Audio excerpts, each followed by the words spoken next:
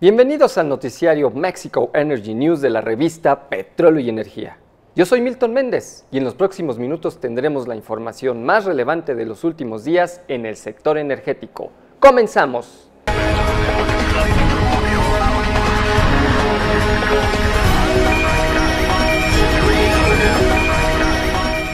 Explota embarcación de Pemex. Se nombra nuevas empresas de la CFE. Segunda subasta eléctrica. Reunión de la OPEP en Argelia. El sábado pasado, una mala noticia se suscitó sobre las costas del puerto de Veracruz al explotar el buque tanque Burgos. Esta embarcación, propiedad de petróleos mexicanos, transportaba alrededor de 150 mil barriles de combustible y superó las 24 horas en llamas mientras rescatistas del Patronato de Bomberos conurbados, personal de Pemex y Secretaría de Marina dieron atención al siniestro. Por fortuna, la tripulación que se encontraba a bordo fue evacuada a tiempo, por lo que no se lamentaron pérdidas humanas. Por si acaso se lo perdieron, a inicios de la semana pasada, la Comisión Federal de Electricidad dio a conocer a los directivos de las 11 nuevas empresas subsidiarias y filiales que entrarán al mercado, tal como fue acordado por el Consejo de Administración de la CFE en marzo de este año. Las empresas subsidiarias, seis de generación, una de transmisión, una de distribución y una de servicios básicos, arrancarán sus actividades a partir del 1 de enero de 2018, mientras que las dos empresas filiales, que corresponden al suministro básico y al suministro calificado comenzarán el próximo noviembre. En más noticias de la CFE, la Comisión Eléctrica se suma a otras 22 empresas de las 57 participantes que resultaron preliminarmente ganadoras en la segunda subasta eléctrica de largo plazo, llevada a cabo este jueves 22 de septiembre en el Centro Nacional de Control de Energía CENACE. De esta manera, se cubrió poco más del 80% de la oferta en compra de potencia, en compra de energía y certificados de energías limpias. La Secretaría de Energía afirmó que esto generará una inversión de 4 mil millones de dólares durante los próximos tres años.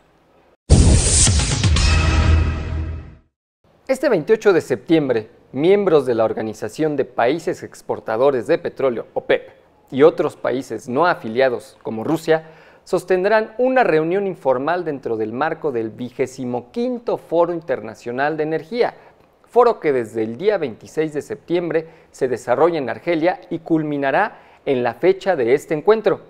El objetivo de la reunión solo se centrará en un espacio de consulta, por lo que decisiones contundentes que den solución a la situación económica del crudo tendrán todavía que esperar, quizás hasta el 30 de noviembre, cuando dirigentes de la organización vuelvan a reunirse en Viena. Y ahora vamos a nuestra sección de tecnología sustentable con Beatriz Hernández. Hola, ¿qué tal?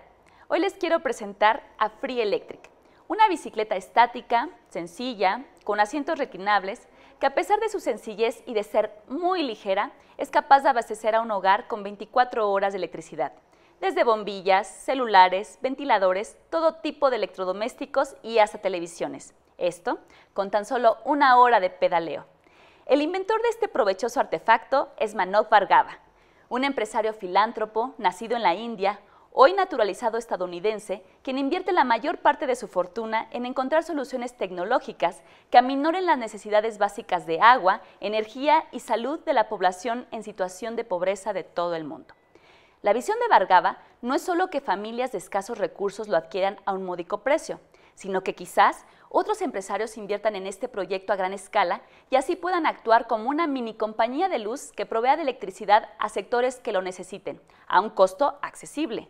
Interesante, ¿cierto? ¿Y ustedes qué otra tecnología sustentable conocen? Esperamos sus comentarios. Gracias a quienes hacen posible Mexico Energy News. Esto es todo por hoy en nuestro noticiario. Yo soy Milton Méndez y los invito a que se suscriban a nuestro canal de YouTube y nos sigan a través de nuestras redes sociales. En Facebook, Petróleo y Energía, y en Twitter, arroba Petróleo Energía. Los esperamos en la próxima emisión de Mexico Energy News. Muchas gracias y hasta la próxima.